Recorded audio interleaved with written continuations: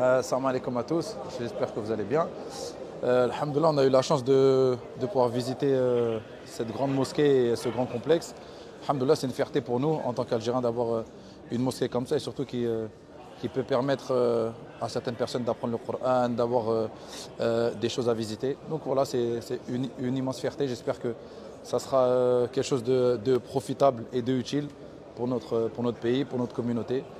آه، اليوم رانا فرحانين بوجودنا اكبر أكبر جامع في في الجزائر وفي إفريقيا والشرف لينا الوجود هنا موجودين هنا وشرف ال- الجزائر اللي عندها مسجد في هذه الفخامة وهذا ال- ال- الشيء الجميل الحمد لله la chance de visiter euh, cette mosquée. Euh, on l'a vue en construction depuis pas mal de temps. On est vraiment content qu'elle soit finie et maintenant on, peut visiter, elle est vraiment incroyable.